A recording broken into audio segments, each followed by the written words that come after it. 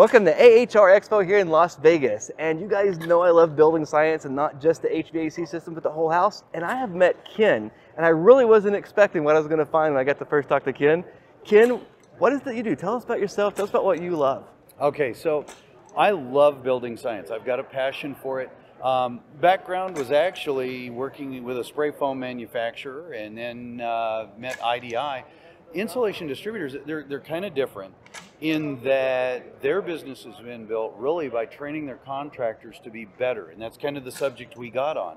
So, oddly enough, they gave me a very large leash or rope, however you want to look at it, to go out and train contractors and train people coming into the trades and into business on building science, on better buildings, on what insulation can and can't do, and things like that. And so we started out as one of the largest sellers of spray foam in North America, really training people how not to mess up a building and how to really get it right. You know, you're manufacturing in someone's house. It wouldn't matter what I manufactured in your house if I made, you know, fiberglass or mineral in your house. It'd be a while before you move back in, you know, that kind of thing. So foam, you're doing live manufacturing in a house, but also now you're air sealing it. Well, that creates other issues. But a couple of things, when you think of where it gets used, one is when we look at attics, and we put a lot of a lot of ductwork into attics in the South. Unfortunately, well, yeah. in my opinion. Well, and where we do that, I loved Allison Bailes made the best statement I've ever heard about that. We're making ice cream in an oven. That's exactly Which right. the attics in Texas are 170 degrees, and what are we trying to do in them? Make ice cream. You know, we put the ductwork up there. But when houses leak, people get uncomfortable because they've got uneven temperatured rooms, they've got more dust, you know, more air infiltration, more building degradation.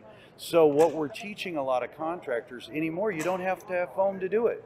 There's tapes, there's different, you know, foam on the outside of a building. There's all kinds of ways today I can build a building without using spray foam, and I'm going to get it down in air changes. And just so that we cover what air changes are. If I took all the air out of the convention center and paid to cool it off again, that's one. Okay, yep. So some houses have over 20 air changes an hour, meaning 500 times a day. They're paying to condition air and then it's going out. Yeah, pretty crazy, isn't it? so when we air seal these, then we have other things that go on. Now we'll have less dust, we'll have more even temperatured rooms. Energy isn't just leaving. I asked you before, had you ever been skiing?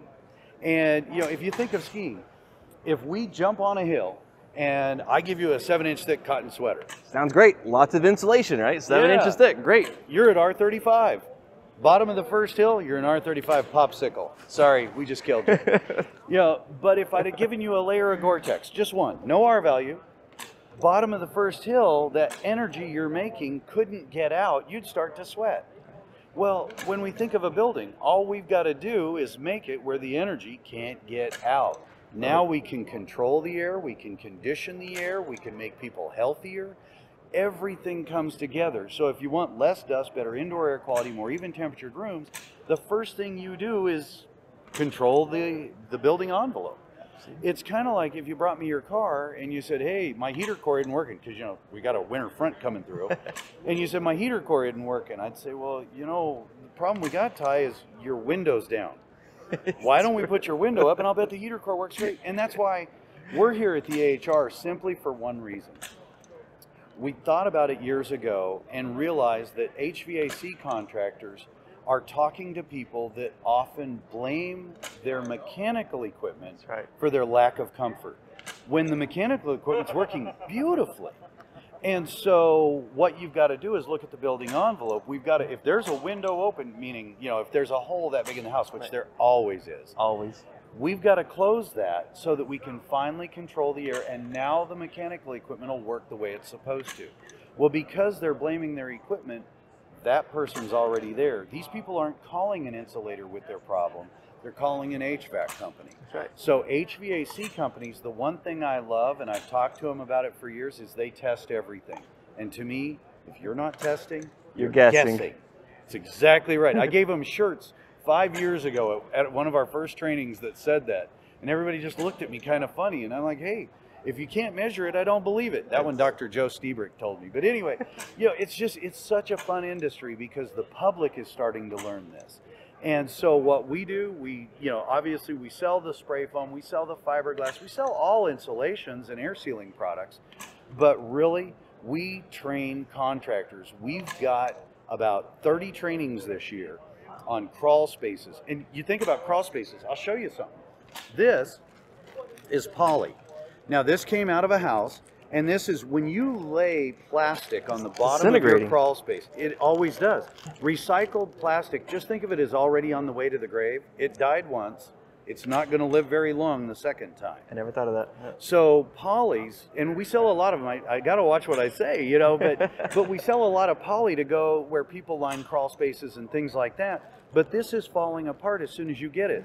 Well, let's take a, you know, a water bottle. Okay. This if I throw this outside in the sun, you know, a milk bottle wouldn't last a year out in the sun, but it's recycled plastic. If I throw this outside in the sun, it's not going to break down. So 10 years from now, it's probably going to look like this. Now, this is a virgin polyester.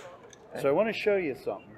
I've got a strand here. This is one strand of the Viper liner that, you know, this is what we're showing them this time around. Usually we're showing them insulation. So my dog and pony show this time. Take that and try and break it, Ty. Don't cut your fingers. Just try to break it. Okay, well, this doesn't seem right. I'm really stronger than this. Like, That is No, it's not breaking. strand of this Wow. barrier. That's and actually pretty cool. grab a sheet out of it, I'll show you what we've been showing them this week. Hmm. This is going to actually be lighter than the plastic, but that, where the poly that I showed you, it'll have about 240 grams of puncture resistance. wow. This is going to have 8,800 grams of puncture resistance. You cannot tear it, you can't break it, and it blocks radon gas. Blocks all soil gas. That's awesome. So when you think of a crawl space, there's quite a few people. If you look it up online, there's a couple of doctors that said vented crawl spaces should be illegal. And the reason why, if I'm living in my house, remember heat rises. Right. So if the heat's rising, where's all the air I'm breathing coming from? From below. From the crawl space. So now, you know, you ask somebody, give me three words to describe your crawl space. It's usually moldy, musty, scary. That's the air you're breathing. Yeah. So what we're telling them is line the crawl space, dehumidify it, Absolutely. and now you're controlling the building. So I'm a big fan of seal the top, seal the bottom, and walk away. Love and it. I'm telling you, with all of the homes that we've built over the years and all the things we didn't know, with what we know now, there is more than enough work for everyone out there. And God bless every contractor that gets into this space and starts fixing buildings and making people healthier. That's awesome. You know, people, their biggest investment is their house. They spend all this money, their whole entire, the biggest thing they ever buy is going to be their home. Doesn't come with an owner's manual. Doesn't come with an owner's manual. And then people think about their air, they think about their cabinets, they think about their couch. But you know, the house, the healthiness of the people, but also the home itself, having this infiltration coming through, their biggest investment is being unprotected. And they think it's just the air conditioner. And all you guys, when you're thinking about careers, think about the whole house system. We could spend all the money in the world designing the best bilge pump ever designed, ever built. But at some point in time, we have to think, maybe we should stop the water from coming into the boat. And that applies also to houses, to homes. And there is endless amounts of stuff with this building science. And I love, this is my passion. I love the building science. I'm not a professional, I'm not the top in it, but I love this stuff. And we should all be thinking about the building science, about the whole house system. I am so glad you brought up careers. Anyone out there, guys, look up Jessica the Attic Queen. This is a young lady that during the lockdown, during COVID, couldn't go to the gym, loved to vacuum, started vacuuming out, you know, the bad insulation in the top of a house. She is now a rock star on Instagram, booked solid for months. If you're young and you want to get into this trade, there's so many places you can get into this trade. You're absolutely right. Nothing is as cool as building science. I've done a lot of things in life and chemistry and all of that, and I, I'm telling you, once I got into this and I learned building science and I learned the difference we can make, it changed my life. My house in Arlington, Texas, it's on soil that makes the house break apart. Oh, so when we tested it, it was 23 air changes an hour.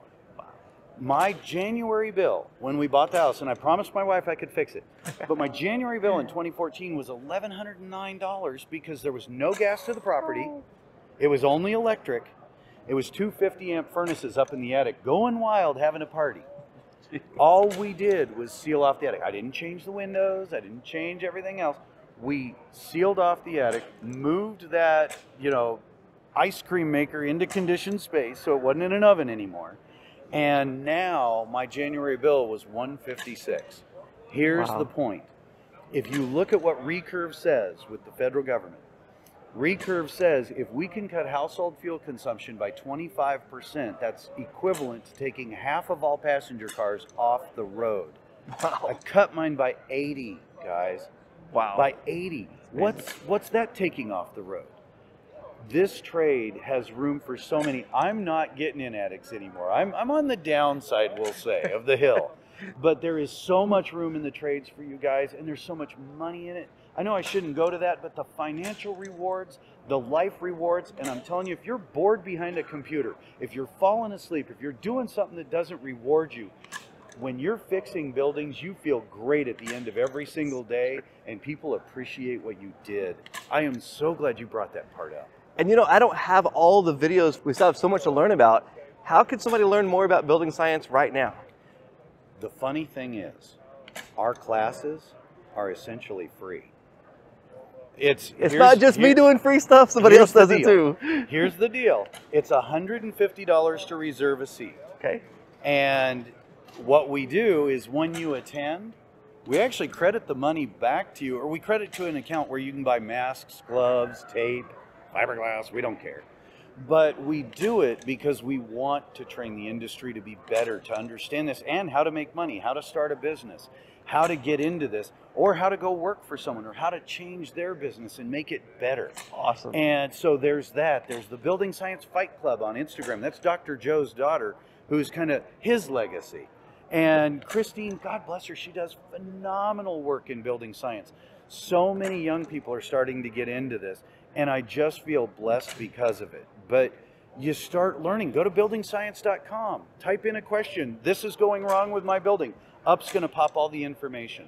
One of the things we all love about Dr. Joe Lstiburek is all of the things they fixed over the years, the studies they did, and what they paid for, they put online for free. Wow, So if I've that's got a awesome. problem with a building, I go to buildingscience.com, I click on search all documents, I write in what I'm looking for, and up pops just white paper after white paper, project after project, and Wow. tremendous information. Most of us that do this do it because we love it.